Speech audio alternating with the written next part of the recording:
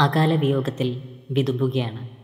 Social media വളരെ ചുരുങ്ങിയ കാലം കൊണ്ട് സംഗീത ലോകത്തെ താരമായി മാറിയ പ്രിയ പഞ്ചാബി ഗായകൻ കാൻവർ ചഹലാണ് അന്തരിച്ചത്.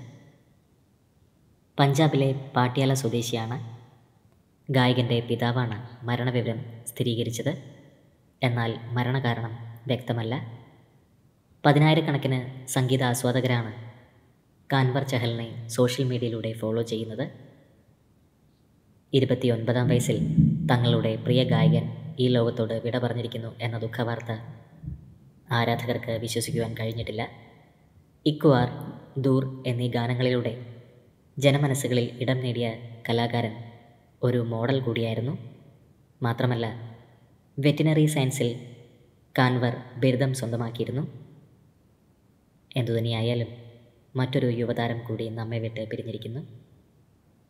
കാൻവർ ചഹലിന്റെ ആത്മാവിന് നിത്യശാന്തി ലഭിക്കട്ടെ എന്ന് നമുക്ക് പ്രാർത്ഥിക്കാം.